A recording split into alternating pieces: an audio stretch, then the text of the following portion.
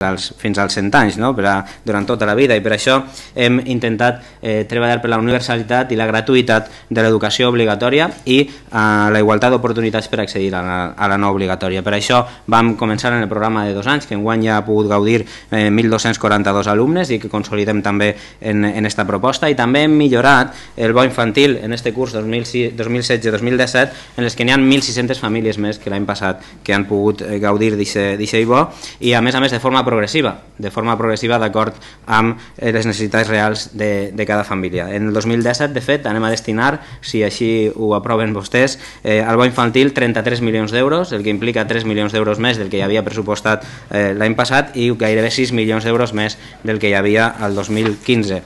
Pel que fa al menjador, eh, per garantir, com dèiem, la igualtat d'oportunitats, enguany hem incrementat en este curs ja eh, vora un 22% les beques menjador, de fet n'hi ha 10.000 usuaris més, 10.000 eh, persones beneficiàries més que l'any anterior de les beques menjador, de les quals 54.000 del conjunt, 54.000 per primera vegada reben la beca completa, l'assignació completa que sé que algunes diputades especialment ens havien, ens havien estat demanant. I al pressupost del 2017 tornem, tornem a augmentar les ajudes en un 10,5% i eh, quasi 4 milions d'euros, 6, perdó, 6 milions d'euros més per arribar encara a més famílies per arribar a millorar la, la igualtat d'oportunitats. Com els dèiem, eh, són quasi 16,8 milions d'euros més en beques menjador que els últims pressupostos eh, de l'anterior govern, del govern del Partit Popular. Pel que fa al transport, eh, haureu eh, pogut observar o hauran pogut observar que precisament les partides d'ajudes individuals baixen i ho hauran, ho hauran pogut observar vostès i això és una qüestió eh, ben senzilla d'explicar i és que hi ha més línies col·lectives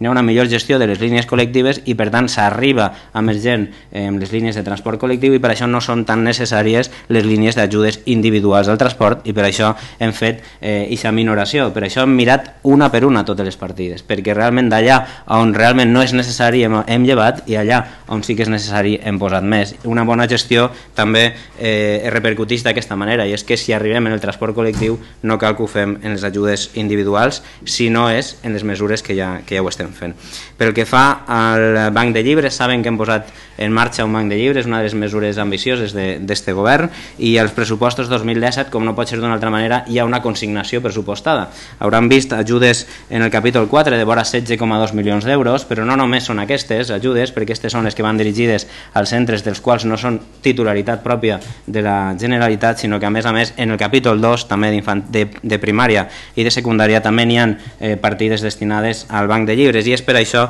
que destinem al voltant de 28 milions d'euros que després veurem eh, en la seva execució fins a on, fins a on arriben. Per què aquesta quantitat? Perquè volem consolidar el funcionament dels bancs de llibres que ja a hores d'ara està gaudint més de 360.000 alumnes, la totalitat dels centres públics i el 73% dels centres, dels centres concertats. Amb totes aquestes mesures consolidem, com dèiem abans, eh, alguns dels drets que hem recuperat, i hem ampliat, hem arribat a més gent, a molta més gent de la que arribem fins ara i volem continuar arribant a la gent que hem arribat a aquest curs i encara més, perquè la gent veja que el govern està al seu costat. Com dèiem en el segon eix, el de la millora pedagògica de la qualitat educativa, és importantíssim que millorem la qualitat, tots eh, vostès ho han, ho han demanat, i per a fer això el principal motor que tenim és l'augment del capítol 1, és el personal. Si tenim més personal, tenim més qualitat, tenim més inclusió, tenim més educació inclusiva, i per a fer això el factor d'incidència que tenim, com dèiem, és el del, el del personal. Consolidem les baixades de ràtios que hem començat durant este curs i el creixement de plantilla que ja hem tingut. Eh, a més a més, pressupostem una baixada de ràtios també per al curs eh, vinent, i per tant continuarem creixent també en, eh, en plantilla i millorem l'atenció de les necessitats educatives especials amb més personal a la seva atenció i per això eh, és importantíssim aquest augment de capítol 1 que els proposem i que està en 45 milions d'euros més de capítol 1 que el curs passat i el que,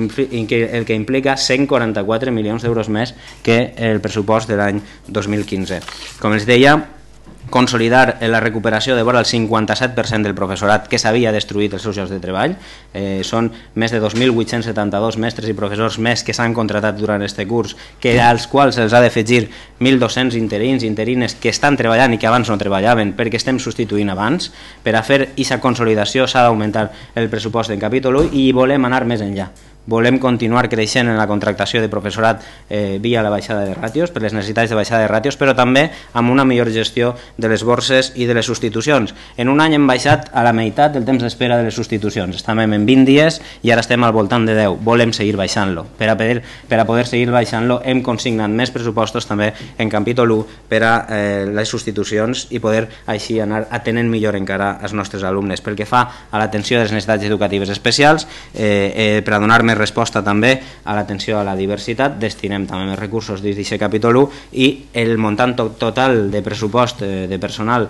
destinat a aquests efectes és al voltant de 174 milions d'euros d'activitats eh, i de persones dedicades específicament a l'atenció a les diversitats. Perquè fa a la formació del professorat, eh, si tenim molt més professorat, tindrem molt més professorat eh, capacitat, però sobretot és una de les grans apostes d'aquest pressupost. La formació del professorat. Ho hem dit en moltes ocasions, que necessitem que els nostres professors siguin els millors i que eduquen de la millor manera possible. Ja tenim uns grandíssims professionals, però els hem d'acompanyar, els hem d'ajudar a formar-se més. És una de les preocupacions que va manifestar l'any passat la diputada de, de Ciutadans i molts de vostès també, no? I, i en respecte a això, i part de la resolució que vostès van aprovar també, 113 respecte a la formació del personal docent, hem donat resposta a aquesta resolució i el que fem és doblar el pressupost de formació del professional, eh, de, de formació del professorat per al curs que ve. Doblem els pressupostos destinats a aquesta matèria. En quin sentit? En, en diverses àrees. Per primer costat, eh, augmentant moltíssim els formadors, les persones que es dedicaran a formar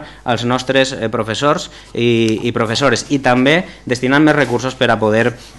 eh, per a poder fer més activitats d'innovació, més congressos, més activitats, més recursos i més materials per als propis formadors que ens ajuden a formar els mestres que després eh, formaran els nostres alumnes. I a més a més, també, com no podia ser d'una altra manera, després d'haver presentat el nou decret eh, de plurilingüisme, hi haurà una especial atenció a la capacitació en idiomes eh, del, nostre, del nostre professorat i que tindrà una traslació en este, en este pla de, de formació del professorat. Eh, com saben, hem introduït introduït nous centres de formació del professorat, alguns són específics, altres són territorials i això denota i ha de tindre un major pressupost, però això al 17 doblem, però com els deia, volem fer especial incidència en la formació del professorat en llengües estrangeres. I per a fer això anem a consignar en guany, i està en la proposta que vostès eh, tenen, un milió i mig d'euros per a formació de professorat en estades a l'estranger per a que es formen en llengua estrangera. Un milió i mig d'euros que servirà per a que el nostre professorat pugui anar a formar-se fora per a fer estades a, als mesos d'estiu, entre 3 i 4 setmanes, i que podran, eh, i que podran eh, sumar-se a les competències actuals per a que en tinguin moltes més, i per tant acompanyar-los per a poder desenvolupar com pertoca aquest decret de plurilingüisme. A més a més, en el perquè fa al programa d'avaluació, innovació i, i qualitat educativa destinem al voltant de 16,2 milions d'euros, el que suposa un increment de 15,8 euros, eh, 15,8% de el, eh, del que hi havia eh, l'any passat. Es destinen, entre altres, a fer activitats com les que hem fet enguany, des de l'edusió, a congressos, a reposició d'experiències innovadores, experiències que estem juntant als diferents professionals innovadors i que estan poden compartir entre ells i elles. I el tercer eix, com deia abans, és l'eix de les infraestructures educatives eh, pràcticament tots vostès ens han demanat d'alguna manera o altra eh, bé via esmenes, bé en els pressupostos, bé en preguntes, si anem a construir un centre o un altre, si anem a fer eh, esta modificació o no, si anem a, a aconseguir arribar a aquest institut o no. Això denota que tenim una necessitat en infraestructures educatives eh, molt gran, enorme. De fet, eh, si fem un repàs a, a tots els municipis del nostre territori, pràcticament tots ens diuen que necessiten alguna actuació en infraestructures. I per això, perquè pensaven que havia de ser d'una forma objectiva, transparent, eh, la priorització d'aquestes infraestructures van presentar el mapa d'infraestructures. I per a donar resposta a aquest mapa d'infraestructures, ni més ni menys que augmentem un 76% un 76% el que es destinem a infraestructures educatives i anem fins a 133 milions d'euros en este pressupost. 133 milions d'euros que ens han de servir per a revertir eh, la deixadesa en les infraestructures que teníem i que ens vam trobar i sobretot per a fer-ho d'una forma objectiva i anar donant resposta, com dèiem abans, a aquestes necessitats. La xifra és molt gran, tot i això no arribarem a totes les necessitats que n'hi ha en un any, ni en tres ni en quatre, però sí que les revertirem de forma ordenada i fixem-se si és una prioritat o no ho és, perquè en dos anys hem duplicat els pressupostos que es destinaven a infraestructures educatives. Hem passat de l'any 2015 amb 57 milions d'euros i hem més que duplicat en la proposta de pressupost del 2017 fins a 133 milions d'euros en infraestructures educatives. I així podrem donar compliment també a una, a una proposta de resolució que es va aprovar en el debat de política general que va ser eh, transaccionada pel Partit Popular, Ciutadans i Podem sobre infraestructures educatives i que amb aquesta consignació anirem donant resposta a allò que vostès van aprovar.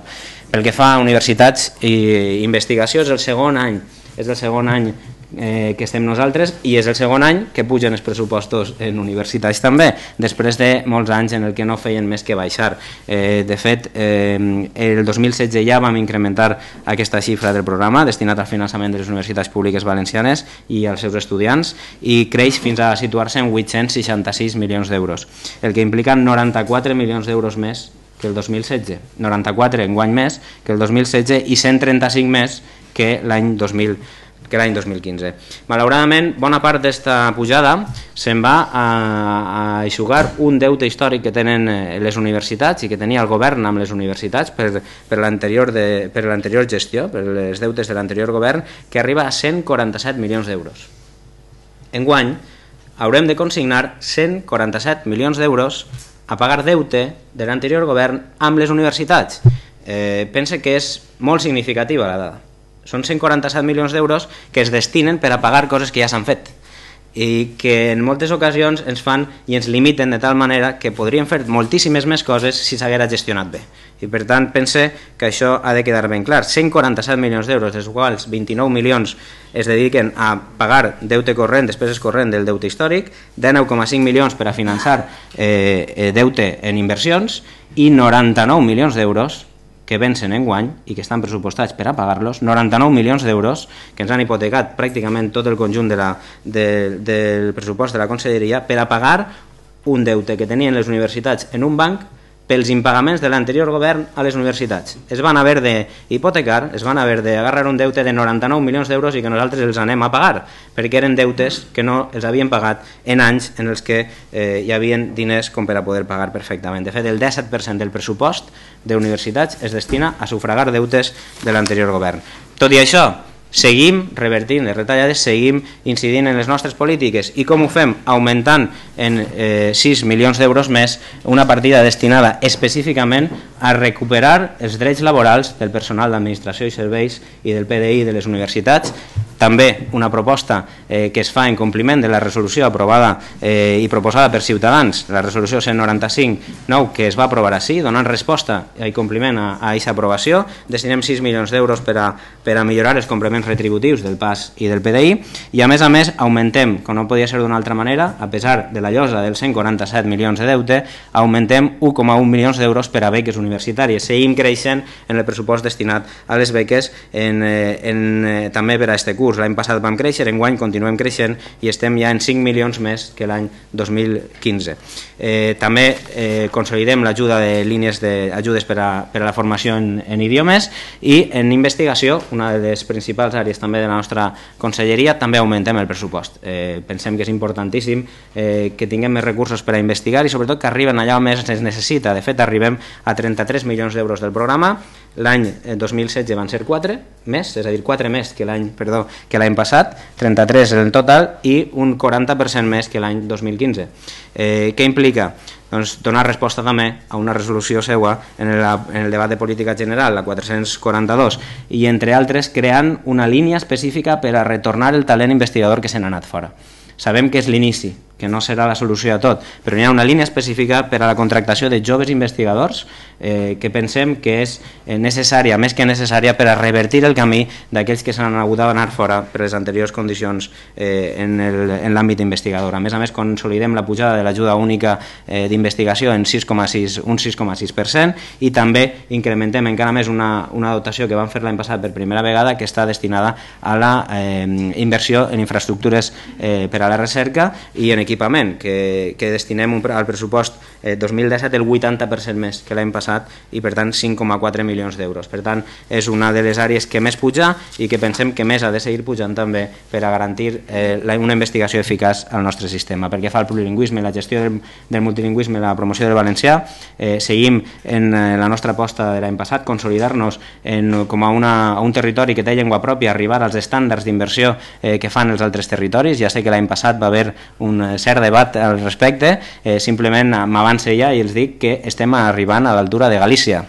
Per tant, no crec que siga eh, fins i tot ni discutible que un govern com el de Galícia, que ha refrendat ara mateix eh, una majoria de, del Partit Popular, eh, destinar uns diners pareguts eh, percentualment a, a la nostra llengua siga eh, precisament una qüestió molt qüestionable. No? Pel que fa a la Secretaria Autonòmica de Cultura, Cultura i Esport, espero poder arribar, veu que vaig ràpid perquè si no és complicat que arribem als 30 minuts. Eh, dèiem que la cultura i la cultura i l'esport eh, són també drets i els hem de garantir no, no només l'educació, també l'accés a la cultura i l'accés a l'esport. I, I per a poder fer això, eh, l'aposta d'enguany és especialment rellevant. Pugem un 17,9% el pressupost de la Secretaria Autonòmica de Cultura i Esport, perquè la cultura i perquè l'esport són part substantiva de l'estat del benestar i perquè d'aquesta manera podem garantir el dret de totes i tots. Sabem, com dèiem abans, som en tota la humilitat del món, no anem a, a, a revertir-ho tot en un any, com dèiem, no, no són xifres eh, suficients per a, per a recobrar tota la vida del, del els sectors culturals o, o, i creatius i esportius, però sí que comencen a consolidar eh, moltes millores. De fet, augmentem 12,1 milions d'euros respecte a l'any 2016 i, per tant, eh, el compromís ferm en el revifament dels sectors culturals i també creatius i, sobretot, també en el món, en el món de l'esport. Hem iniciat a través del Pla Estratègic Fes Cultura, que dona resposta a estos, eh, estos pressupostos, a aquesta aposta que van fer eh, també quantitativa. Més de sis plans hem iniciat ja per a reactivar, com dèiem, els sectors culturals i creatius, i entre ells destaca el Pla del Foment del Llibre i la Lectura, que per al 2017, si així ho desitgen vostès, tindrà més de 2 milions d'euros, o el Pla de les Arts Escèniques de reactivació de les arts escèniques que al 2017 arribarà a més de 4 milions d'euros. Per tant, més producció pròpia, més subvencions també als sectors i per tant més activitat cultural eh, per reactivar el propi sector i sobretot per garantir el dret de la ciutadania d'accés a la cultura que fins ara s'havia quedat desviaixat. Eh, pel que fa al capítol de llibre i promoció de, de la lectura, eh, Tornem a incrementar els crèdits que hi havia el 2016 i en el 17 anem a destinar quasi 13 milions d'euros quasi 13 milions d'euros destinats a biblioteques, al sector i especialment al foment, al foment de la lectura. Deia que el foment de la lectura tornem a incrementar des del 16 eh, algunes línies, de fet eh, hi ha una línia nova per al foment eh, de les activitats de difusió del Col·legi de Bibliotecaris, que l'any passat se'ns va demanar, la diputada de, de Podem recorde que ens ho va demanar en, en, el, en este debat mateix que ara reproduirem, i dos línies noves, algunes per a premiar els llibres millors, millors editats i altres per al suport de les mancomunitats per als arxius municipals. De fet, un dels creixements més substancials d'aquesta partida és d'un 31% el que pugem per les, eh, eh, per les inversions destinades a la millora de les infraestructures, a l'equipament i a la digitalització dels arxius i les biblioteques, un 21% que eh, dona resposta també en mesura de el que el diputat Mulet també en alguna ocasió ens ha demanat, i és que tinguérem i tractarem millor els nostres arxius, intentem fer-ho almenys en, en aquestes línies també. Pel que fa a la programa de promoció cultural i eh, promoció artística i, i de museus, el total del programa de l'any 2017, si així ho desitgen vostès, serà de 22,3 milions d'euros. És un augment molt significatiu, quasi 7 milions d'euros més que, que l'any 2016, i l'aposta és evident, l'aposta és pel patrimoni L'aposta és pel patrimoni, l'aposta és eh, per, eh, per consolidar la,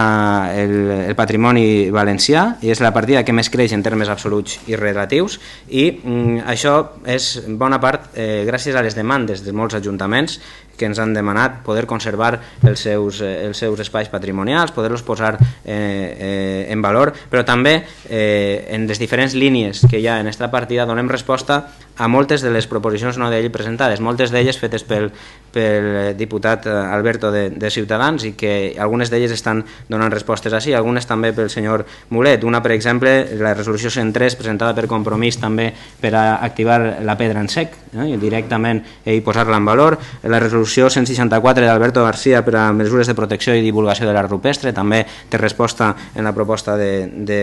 de, de pressupost que tenim, així com aquelles per a subvencionar els béns d'interès d'interès eh, i béns patrimonials. També aquelles, eh, creem tres línies per a, per a la resposta i de posada en valor al manteniment dels BICs, que també ha sigut una de les seues demandes, i continuem eh, sense fer línies nominatives. Sí, continuem sense fer línies nominatives perquè pensem que totes elles han de ser de, de pública concurrència, que es puguen presentar els diferents ajuntaments també i eh, revertir la situació de, del patrimoni. Com dèiem, eh, aquestes actuacions van des, de, des del capítol 6 al capítol 7. Capítol 6 eh, són les que destinem 4,5 milions d'euros a recuperació, restauració i conservació, i conservació del patrimoni que depèn directament de, de la Generalitat, també de museus i, i nuclis històrics, i augmentem també les de pública concurrència, duplicant les ajudes als municipis per a posar en valor el patrimoni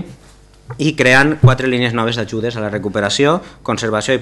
i protecció del patrimoni mundial o de la humanitat, la del patrimoni arqueològic i paleontològic i per la recuperació de la pedra en sec, com dèiem abans, i la del patrimoni cultural relacionat amb la memòria històrica, també creem una línia per a recuperar eh, el patrimoni cultural eh, relacionat amb la memòria històrica que va ser aprovada també i debatuda a les Corts, recorden eh, aquelles de posar en valor el patrimoni històric, el patrimoni de la memòria històrica de la Guerra Civil, recorden que va ser aprovat també a, a les Corts Valencianes. D'altra banda, pel que fa a la promoció i difusió del patrimoni cultural, incrementem les ajudes d'activitats vinculades a la cultura valenciana i al patrimoni cultural immaterial valencià i eh, dupliquem les ajudes a la dinamització d'activitats i projectes culturals i artístics, entre ells les ajudes a les activitats d'internacionalització dels nostres galeristes, per exemple, i les ajudes de dinamització cultural als museus i a les col·leccions museogràfiques, es dupliquen i per tant hi haurà una millor dotació per a tots els, els museus del nostre territori. Eh, pel que fa a les infraestructures pròpiament dites, construccions noves no n'hi hauran,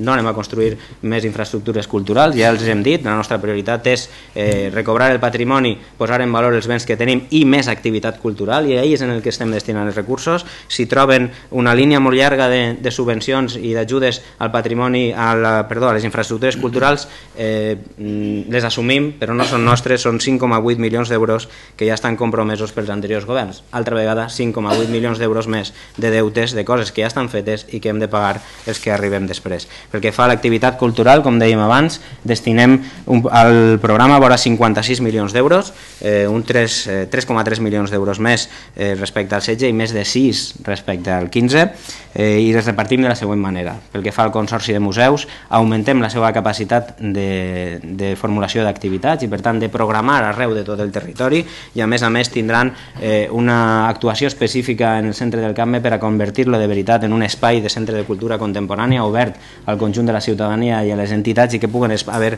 espais de creació. A més a més, eh, pel que fa al Palau de les Arts, mantenim el pressupost, l'any passat el vam pujar per a garantir que hi haguera una bona programació i una programació de qualitat. Enguany es queda com estava fins ara perquè ja hem garantit aquesta programació i el que hem de fer, com en la resta d'espais de, del nostre estat que tenen un, una assignació pareguda, arribar a més a, a millors eh, a, a més eh, inversions d'altres agents, tant públics com privats, i ja hem fet reunions tant en el Ministeri com en agents privats per a que puguen invertir més. Pel que fa a l'IBAM, creix la seva inversió sobretot per a fer efectiva el Jardí de les Escultures, poder programar, poder obrir-nos al barri i que eh, es puga mostrar més la, la nostra obra i també augmentar la capacitat de gestió del propi museu. Pel que fa a l'Institut Valencià de Cultura, puja eh, el seu pressupost i arribem fins a 30 milions d'euros i ho fa per a garantir una millor producció cultural per a fer més cultura en tot el territori, per a fer producció pròpia, però també per a dirigir-la a subvencions al sector. I això passa per un canvi de prioritats, com dèiem abans. I eh, no només per això, sinó també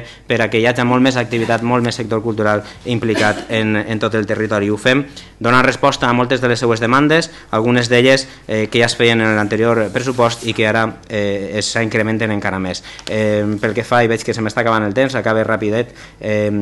continuem també aportant recursos per a inversió per a pagar deutes passats. Vostè eh, ens ho deia, senyor Mulet, eh, Villalissa, ens ho recordarà, està consignat pagar una bona part d'aquest deute que, que hi havia i també continuar amb les ajudes per part de Culturals a la Federació de Societats Musicals que pugen més d'un milió d'euros. Pel que fa al Museu de Sant Piu V, també hi havia una demanda històrica que hi haguera una línia directa per a la pròpia, per a la propi museu i allà està i no només això, sinó que augmenta, augmenta el seu pressupost per un 49%, fins a 5,2 milions d'euros per a mantenir-lo i per a que faci més activitat. Perquè fa l'esport, intentaré, si no, el eh, president, eh, en un minut tinc el, eh, eh, puc fer això, eh,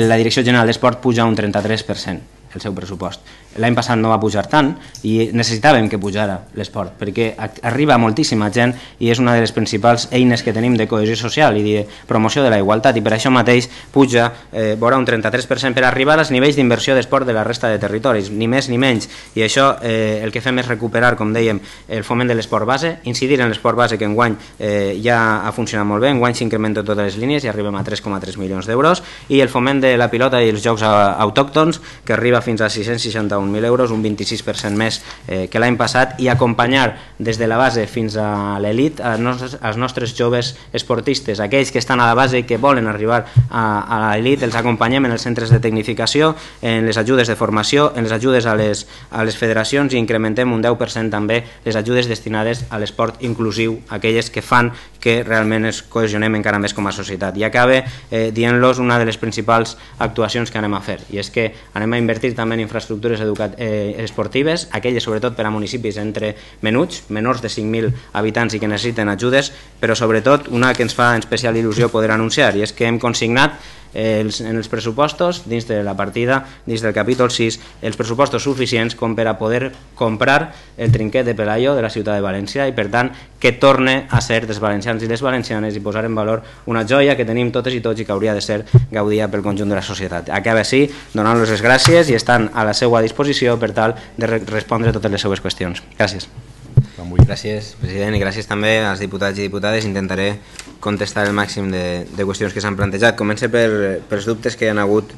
al voltant de, de les infraestructures. Eh, ens deien eh, diferents grups que, que dubtaven que si nosaltres anàvem a fer o no a fer, que no complim en allò que, que diem i fins i tot es posava en dubte eh, des de diferents grups eh, el grau d'execució, no? allò de tindre una cosa pressupostada que després no es gasta. A dia d'avui tenim el 81% un 80,64% de les inversions executades i encara ens queden per acabar el mes, per acabar l'exercici els mesos que queden. Per tant, acabarem en un grau d'execució molt elevat i que dona resposta que sí que sabem gestionar i per tant l'augment d'infraestructures és real perquè n'hi ha més recursos i a més a més s'executen i no només eh, més recursos per a, per a infraestructures en genèric, sinó més recursos per a un pla concret d'infraestructures en el que ens vam comprometre amb la ciutadania i en el que estem treballant per anar complint. És cert que n'hi ha alguns, algunes, eh, algunes construccions que han començat més tard del que posava en el propi pla, però han començat i estan en licitades. Moltes d'elles eh, se complixen i estan ja licitades i sabem quina és l'empresa la que va a començar i el cert és que eh, estem complint en els compromisos que teníem i no només això, sinó que els executem estem i no en aquests dubtes que s'han anat generant. Jo, eh, quan sent incompliments per alguna banda, penso en alguns cartells que han estat 9 anys davant de solars no? I, i la realitat és que eh, poca, poca, poca realitat pot parlar-ho dient d'incompliments no? quan ha tingut solars en 9 10 anys de solars en un cartell que dia sí, la teua nova escola, doncs pues mira, nosaltres no fem solars no fem solars en cartells nosaltres construïm escoles i no posem cartells ja no anem a construir una escola. N'hi ha moltes, moltíssimes, que estan en obres ja i no han fet ni un anunci, perquè això és la nostra obligació i perquè el que volem és que els xiquets vagin a escola, no fer-nos una foto i després dir que era un gran, un gran pla d'infraestructures, entre altres coses perquè hem canviat eh, centenars de finestres, centenars de postes i no hem dit que hem fet un centre nou, com passava abans, i, i se sumava com si hi haguessin nous construccions quan es feia una actuació menuda. I enllaç en el que ens deien que haguem fet amb aquests mil milions, doncs haguem pogut construir totes les escoles així de senzill, les haguem pogut construir ja, no canviar finestres i dir que eren noves, sinó construir escoles senceres i a més a més sense haver de fer posar un cartell per a després quedar com es quedava l'anterior govern. No, no, no incidiré més en, en això, seguim eh, pressupostat, és claríssim eh, l'aposta que hi ha, és un 74% més d'inversió en infraestructures i per tant diria que poca cosa més es pot dir que a més a més d'invertir, a més a més evidentment les executem. Em fa, em fa especialment eh, una sensació especialment agra, no? el, el, el pensar que hi ha gent que mm, pareix que li haguem de donar les gràcies al, al govern de Madrid, no? Diu que tenim més diners pel govern de Madrid. Eh, pues, eh, resulta que no, resulta que tenim més diners i els prioritzem més diners perquè n'hi ha un nou govern perquè si haguera mantingut l'anterior govern seguiríem sense tindre escoles licitades, seguiríem tenint cartells i cap escola construïda. I això és el que haguera passat si no haguera canviat el govern. I no només això, sinó si vol, com ens demanava, ens demanava el diputat de Compromís, em deia què s'està fent a altres llocs? Mire, doncs ho podem fer. Segons vostè, nosaltres podem fer més coses per el govern de Madrid. No hem deixat clar que no tenim bon finançament diria que tot el món compartim, no? inclús ho hem aprovat conjuntament. Què estan fent altres comunitats? Pues podríem mirar comunitats que han continuat en el mateix signe, en el mateix eh, partit, per exemple la de Madrid, i l'eix de prosperitat que a alguns els agradava i altres eh, pensem que era més bé una altra cosa, l'eix d'una altra cosa. No? Eh, el, eh, clar que no és lo mismo, no és lo mismo, no? No és lo mateix que governe un, eh, un partit com el Partit Popular o un govern com el del Botànic, entre altres coses, perquè enguany, en els pressupostos d'enguany, a pesar de l'infrafinançament que tenim, recuperem la inversió de les millors èpoques en educació de quan no teníem les actuals restriccions pressupostàries pel que fa a la crisi. En canvi, si anem a mirar el que passa en altres governs governats pel Partit Popular, com per exemple el govern de Madrid, encara estan 400 milions d'euros per baix del que feien quan no hi havia crisi. Per tant, diria que és un poquet diferent diria que és un poquet diferent que governe un grup o un altre. I ahí queda clar quines són les prioritats. I aquestes prioritats estan ben definides en el govern del Botànic en aquest augment que hem tingut. Com és que no fet aquest augment en els llocs on governen que és el que, quines són les prioritats que vostès diu que n'hi ha. No és que caiguen la pluja dels diners del cel, no senyora, ens els treballem i prioritzem, que és el que es deuria fer en el conjunt de governs que en teoria tenen, eh, tenen per objectiu millorar l'educació de, dels seus ciutadans. Nosaltres ho fem i estem ja per dalt, per damunt de les inversions de quan no hi havia les restriccions pressupostàries de la crisi, cosa que altres governs del Partit Popular precisament no fan. No? Eh, parlàvem també de concerts i, i pense que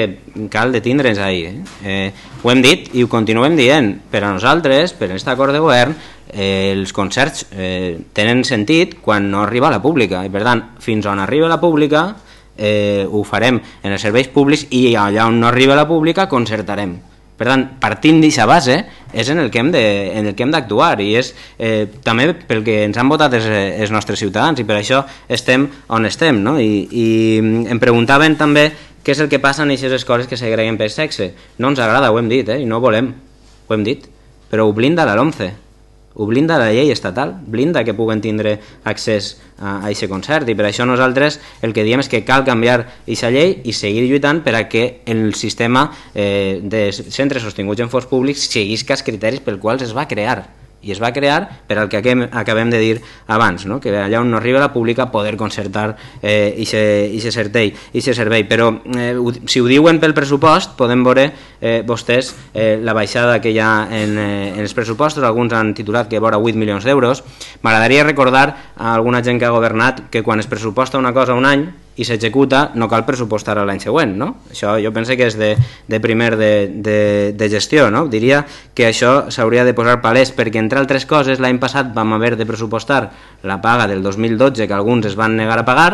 i l'hem posat en el 16 i s'ha pagat, per tant no s'ha de pressupostar en el pressupost del 17, igual que no s'ha de pressupostar els impagaments del Partit Popular als professors de la concertada de més de 6 milions d'euros que s'estan pagant en aquestes setmanes. I que nosaltres vam pressupostar en el 16 professors de la concertada que ara mateix estan cobrant pagaments del Partit Popular, d'anys de gestió del Partit Popular, que ara pareix que vulguin defensar-los, però ja sabem a qui estan defensant. Els treballadors està clar que no, perquè no els pagaven, no els pagaven i som nosaltres els que els paguem paguem. Per això resulta que aquests pressupostos no poden estar ara eh, en el 17 perquè ja ho hem pagat perquè eren impagaments del Partit Popular i retallades del Partit Popular que s'han pressupostat en el 16 i que ja s'han passat mm, i que ja s'estan pagant. Nosaltres tenim molt clar eh, amb qui estem, són els treballadors i treballadores, les condicions laborals de totes i tots i entre d'altres anar recuperant allò que vostès es van destinar eh, durant molt de temps a anar destruint. També del professorat de la concertada, que més de 6 milions d'euros que els devien i que casualment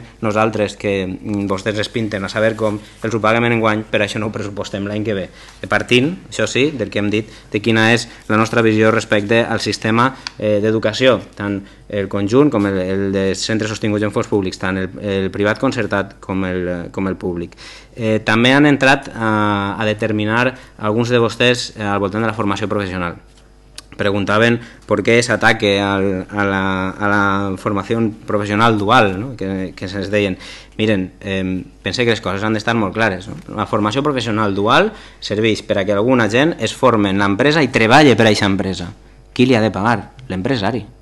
no li ha de pagar l'administració. Per tant, per molt que vostès digueren que eren ajudes a los estudiantes, eren ajudes a les empreses. I per tant, se'n van aquests 300.000 euros perquè no hem de pagar-li a una empresa el sou d'un treballador que té allí eh, en ells. I per tant, la formació professional dual està basada en que precisament l'empresa ha de pagar-li un sou a una persona que s'està formant allí i que està treballant en ells. Per això hem llevat la partida que vostès anomenaven ajudes, ajudes a los, a los estudiantes i que eren ajudes directament a les empreses. Per tant, el sistema és ben diferent, clar que sí, però pensem que és bastant normal, inclús eh, per a una persona liberal. No? Lo privat eh, té lo privat i s'ha de gastar els seus diners i lo públic ha d'anar a lo públic i per tant això eh, no és precisament molt, molt revolucionari. Sí que eh, el que ens comentava també eh, la diputada de, de Podem eh, sobre la formació professional, sí, apostem claríssimament per, eh, per la formació professional. El que passa que en el capítol de despesa, en el programa, el que no està pressupostat és l'augment de, de, de professorat, perquè això està pressupostat en el capítol de secundària. I per tant, i s'aposta que estem fent que és de més unitats de formació professional, de més famílies professionals i d'una millor territorialització de la formació professional no es reflexa en el capítol concret del pressupost per això, perquè els professors que van allà es paguen del capítol de eh, secundària i aquest capítol, com ha vist, eh, sí que augmenta el capítol 1 eh, de secundària, que és el que més augmenta per atendre precisament a una bona aposta de la formació professional. També eh, en el capítol 2 hi ha un augment en secundària que bona part va destinat també al funcionament de noves unitats unitats i de noves obertures i que ahí estan eh, reflexades en el pressupost. Per tant, va endavant aquest projecte que tenim eh, conjunt, que és el de millorar la formació professional i arribar de veritat al conjunt de la població per a formar nostres, eh, els nostres alumnes i també per a canviar el model productiu és que si hem vingut a canviar el model productiu ho haurem de fer també via la formació i ja els anuncio que en breu eh, farem eh, un anunci conjunt també en la Conselleria d'Economia que estem treballant i que ajudarà molt en aquesta línia. Eh, pel que fa a les inversions eh, i les subvencions, les ajudes a les societats musicals, a les bandes, s'ha dit en diferents, en diferents ocasions. Eh, L'ajuda a les escoles de música és de 6.800.000 euros recorde que és un 13% més que l'any 2015. Per tant, diria que si tenim un 13% més de pressupost, com a mínim, com a mínim, deixa'ns dir que som, estem un 13% més preocupats que vostès. Per tant, no ens donen lliçons de no estar preocupats per les bandes de música i pel seu eh, gran teixit cultural, que el sabem que el té i que sabem que són necessaríssimes i que han d'estar, i tant que sí, i nosaltres estem intentant ajudar-les en tot allò que podem, per exemple, destinant més recursos, que no ho feia alguns que ara ens volen donar lliçons. Per tant, mm, diria que no, no, no cal moltes vegades passar de, de llarg el que ho ha fet, no? per a poder després donar lliçons a la resta. Més que res perquè a més d'aquestes ajudes també tenen les que tenen a veure l'Institut Valencià de Cultura, que pugen fins a un milió d'euros i que a, també ajuden a desenvolupar tota la seva tasca. I ens agradaria que tingueren més, vam tindre un debat eh, fa poc a a, al plenari de, de les Corts i recordava, i m'agradaria posar damunt la taula, qui va ser precisament el que ens va demanar que retallarem més. No? I diria que no vam ser nosaltres precisament. De fet, aquesta esmena, que va ser aprovada l'any passat, s'ha incorporat directament al pressupost i directament al pressupost ja n'hi ha 6.800.000 euros destinats a la Federació de, de Societats Musicals, eh, entre altres ajudes que tenen també en, eh, en vora un milió d'euros d'altres parts del pressupost. Eh, és cert, eh, ens ho deien abans en allò de, de, pel que fa a l'execució del pressupost deia que n'hi ha un 80% del pressupost executat en, en infraestructures i també se'ns deia que, que se'ns apuntava no? d'alguna manera que no acabàvem de, de saber gestionar o que intentaven ser opacs en la, en la gestió no? i jo pense que un altre, un altre exemple mm, més bé tot el contrari. Jo he comparegut així més vegades que qualsevol altre conseller els últims anys pense que d'opacitat ni una, transparència tota, i estic responent a totes les seves preguntes, igual que ho faig en els plenaris i ho continuaré fent amb molt de gust encara que se m'acabi el temps fora, i per tant continuarem, continuarem treballar en aquest sentit. Mm, diria que modificar el capítol 2 després d'haver-lo aprovat per a destinar el doble de recursos del que hi havia pressupostat, això sí que seria opacitat, no? Destinar eh, 6 milions d'euros en el pressupost i després modificar ràpid i gastar-se en 11, diria que això sí que és opacitat, no ho fem nosaltres, ho feia la persona que ens eh, eh, deia que som opacos, opacs a l'hora de presentar pressupostos. No? Eh, pel que fa al personal, com va a baixar el personal si augmenta el capítol 1 de personal?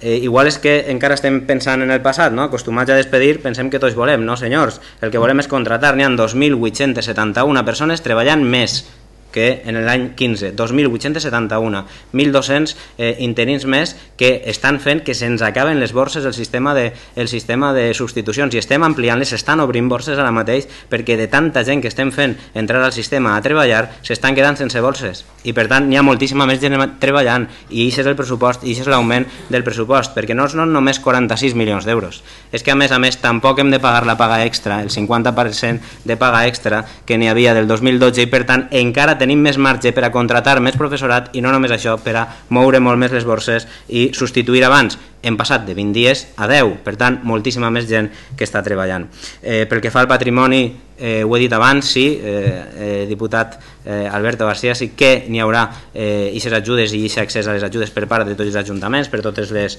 eh, les entitats que estan eh, preocupades pel, eh, pel patrimoni. Visitarem, com no pot ser d'una altra manera, i ganes tinc, més en de Castelló, de visitar els pobles de les nostres comarques, però no hem pogut arribar a tot de moment encara, tot i que ho conec gràcies a ser de Castelló perquè ja he vist eh, com estava inclús abans de ser, de ser conseller. Perquè fa el desenvolupament territorial de la cultura tenim claríssim que hem d'arribar a tot abastament, per això pugem entre d'altres el Consorci i la seva activitat per a que arribi a tot el món i que l'Institut Valencià de Cultura faci produccions pròpies en tot el territori i que les produccions que es fan es moguen per tot el territori. Bon exemple d'això és precisament haver estrenat una producció íntegrament a la cantina no només de creadors, sinó també de, dels, propis, eh, dels propis actors a Alacant, que ara rodarà per tot el territori valencià. Per tant, ja anem avançant en aquest sentit i quan més puguem fer, millor. I ahir sí que eh, li agarra el guant. Evidentment, si tinguem més recursos, més faríem, no? però almenys les voluntats estan ben, ben definides i estem presents en la mostra de contemporani, com deia en dues produccions, hem doblat de la nostra presència, per exemple, a la mostra d'Alcoi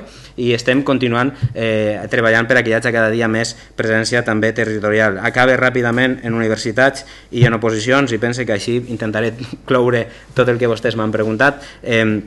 Sí, el sistema de finançament és injust i l'hem de, de millorar, però com vostès han vist, 147 milions d'euros hem hagut de pagar en guany perquè som un govern responsable que ens toca, com no pot ser d'una altra manera, assumir el que altres no han gestionat bé,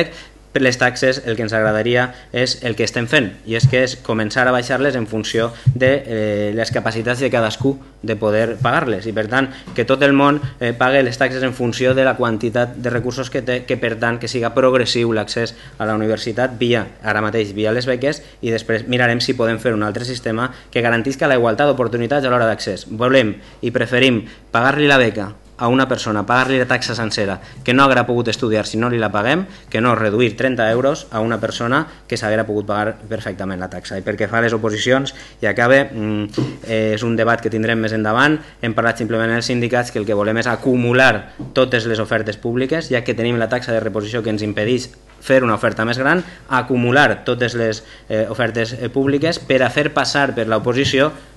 poques vegades a la gent, perquè emocionalment, com també deia abans la diputada de Podem, eh, és, im, ens hem de posar en el seu lloc també, i hem de saber que passar per aquest procés és molt dur i més val fer una oposició en moltes places que tres oposicions en poques places, que l'únic que fan és fer patir a molta més gent a menys opcions d'acabar obtenint una plaça. Per tant, això estem parlant els sindicats i mirarem, mirarem com ho fem. Donar les gràcies per les seves aportacions i després, evidentment, acabaré de cloure. Gràcies. Gràcies. Bé, moltíssimes gràcies a totes i tots per les seves aportacions. Mm, no m'estendré molt en aquella gent que usa més bé la disqualificació o, la, o la, una suposada contundència en una, eh, una mostració, pense jo, de, de més bé... Sí, eh, conseller, té només 5 minuts per a contestar i intenta centrar-se en el tema. Sí, si, em, si em deixa ho faré. Sí, sí, clar que el deixaré. Sí? Doncs de moment no ho pareix. Yeah. Gràcies. Eh, deia que aquella gent que, que deia que, que gasta probablement algunes frustracions. Jo ho dic als meus xiquets quan sóc mestre, no? I dic, si, si els teus arguments no són vàlids, mm, utilitza, intenta buscar-ne altres o al millor és que no tens raó. Sobretot si no, saps, si no, si no arribem a sumar, per exemple, el capítol 1, no? que puja 33 milions d'euros entre, entre primària i secundària, sume, sume i veurà, sume i veurà que no és veritat el que està dient. A més a més d'haver dit això, eh, dic que eh, la gestió, respecte a la gestió, estem ara mateix en un 92% eh, d'executat, de, per tant 92,26% diria que no estem malament, en balanç global de dades a 30 de, d'octubre, per tant diria que no estem tan malament i a més a més d'això, eh, com a experiència de pintar pressupost diria que eh, pintar pressupost és no pressupostar per exemple més de 1.000 milions d'euros en eh, sanitat que es pagaven fora de contractes i molts més milions, sí, sí, que és el que feien quan estaven governant. Per tant, eh, no donen les gràcies al govern del Madrid quan, quan ens està ofegant i ens demana que retallem respecte a uns pressupostos aprovats per les Corts Sobiranes del poble valencià, aprovades per les Corts del País Valencià i ens demanen que retallem, més de 300 milions d'euros ens demanaven retallar el senyor eh, Montoro i per tant de gràcies ni una, tot el contrari, el que hauríem fer és deixar-nos treballar. Sí que vull que agrair, i així que eh, entre en el que estava dient la diputada també del Partit Socialista, miren, han, han, ho pot triar dos camins, no? pot triar el camí de la proposta o pot triar eh, l'altre camí, no perdre el temps en els que trien l'altre camí, sí que en aquells que proposen. Ha preguntat eh, vostè eh, per les aules TIL, n'hi ha 16 aules TIL més n'hi ha 16 aules TIL més. Per tant, continuarem en aquesta línia, continue tenir la mateixa preocupació que vostè i, de fet, eh, destinem al voltant de 183 milions d'euros als recursos per a les necessitats educatives especials, 174 en matèria de personal i la resta vora 9 milions d'euros per a ajudes, eh, material, per a famílies, per a personal, per, a, per, als propis, per als propis estudiants. I per tant pense que és una quantitat significativa, esperem que pugui ser més i estic segur que entre totes i tots farem una educació inclusiva perquè deia del Carxe mm, no és el total de l'ajuda, la, el total de l'ajuda és per a totes les entitats, també per a aquelles que estan al Carxe que també parlen la nostra llengua i parlant en els seus en els seus ajuntaments deien que volien també que, que els ajudarem, ens ho diu també el Consell d'Europa que ho havíem de fer, per això ho hem inclòs però no és la totalitat, és una part i poden accedir igual que la resta del territori valencià. Pel que se'ns deia del capítol 2 de secundària és augment, per què és? Per augment, per exemple, per al transport col·lectiu, per exemple, per als menjadors, per exemple, per a les obertures d'unitats per al funcionament de les obertures d'unitats que hem tingut. Com que estem obrint unitats i estem fent més unitats públiques, tenim més despesa de, de capítol 2. No? Eh, I les que deia de l'esport és perquè venen d'un pla d'infraestructures també del passat i per això tenen aquestes concrecions. No? Eh, deia que volia donar les gràcies a tots i cadascun dels que heu decidit fer propostes i que l'any passat les van fer, perquè pense que heu vist així reflectides algunes d'elles i estic segur que les podrem anar eh, continuant reflectint. Passet a passet pense que anem millorant. Anem millorant la nostra gestió i sobretot anem millorant la situació actual eh, de l'educació, la investigació i la cultura l'esport. No ho faig jo, i ho ha dit la diputada eh, del Partit Socialista, ho fem entre totes i tots, sobretot vostès també que formen part d'aquests corts i que representen i fan aquestes propostes, també el conjunt de l'equip, però m'agradaria repartir eh, aquest, humilment aquells èxits que pense que tenim eh, totes i tots. Per exemple, llegint un fragment d'una notícia de, de les províncies que diu Si se compara el registro con el mismo periodo de 2015, la evolución es más que positiva, pues se mejora en dos puntos. Es la tercera autonomía que más reduce su abandono, abandonamiento escolar. Sí, ja no estem en la línia d'estar a la cua, sinó d'estar reduint més que ningú l'abandonament prematur i per tant pense que alguna cosa estem fent conjuntament. Anem pel, anem pel bon camí totes i tots, els que proposem i, i els que treballem conjuntament. I aquests 2.872 professors més, que espere que enguany segur que n'hi haurà més via aquest capítol 1 si vostès ho aproven. Substituïm abans, gràcies a vostès també, els interins que cobren el juliol i agost i que ara podran cobrar, entre altres, eh, una bona part dels sexanis que se'ls van negar. Aquella gent que ara mateix té una beca de menjador, m'agrada m'agradaria que li preguntaren la gent que ha utilitzat paraules tan contundents on eh, estan aquestes persones que diuen que ja no treballen, n'hi ha més persones que treballen, pregunteu a la gent que està en les beques, a la gent que està en, eh, en les borses d'interins, pregunteu a la gent que és beneficiària de les beques menjador, és 10.000 persones més, les baixades de ràtios que hem aconseguit entre totes i tots, de 25 a 22, és a dir, 3 persones menys de mitjana en, eh, en les ràtios, dupliquem la formació del professorat en criteris d'objectivitat, i ahir, ahir me sumi el que ens estaven dient, eh, per tant, tindrem molta més gent eh, treballant per formar els nostres eh, formadors, l'educació inclusiva de més de 4.000 persones que s'hi dediquen, més de 4.000, són les persones que se dediquen a, a la formació inclusiva i esperem que cada dia, cada dia hi hagi més. Les beques universitàries i la cultura, miren, també hi ha bons resultats en cultura, no, no són excel·lents ni són d'avui per a demà tot bé, no? però hem augmentat el consum cultural en un 8,7% al territori valencià, quan a la resta de l'estat és un 2,6 un 8,7 respecte a un 2,6 i no només això, sinó que s'han creat 200 empreses culturals més en tan sols un any. 200 empreses més, no és que s'hagi destruït és que se n'han creat 200 més. No ho hem fet nosaltres, ho hem fet eh, de forma conjunta a la societat valenciana. I per això també podrem, si vostès ho volen, desgravar el 21% dels abonaments culturals per a fer front a l'IVA incultural que teníem del govern de Madrid. I podrem fer-ho si vostès ho aproven i ho farem conjuntament. Per això els dono les gràcies a aquells que realment no es resignen a pensar que un ha de fer un paper o un altre en funció del partit, sinó que es dediquen a proposar i a treballar conjuntament per millorar la societat. Si vostès ho fan d'aquesta manera, em trobaran com un humil aliat i, i treballem conjuntament. Per aquells que creuen com nosaltres, que com més fent, millor eh, societat tindrem, millor País Valencià tindrem i millor viuran la nostra gent. Per tant, moltíssimes gràcies a totes i tots vosaltres pel vostre treball i a la vostra disposició per a continuar treballant junts. Gràcies.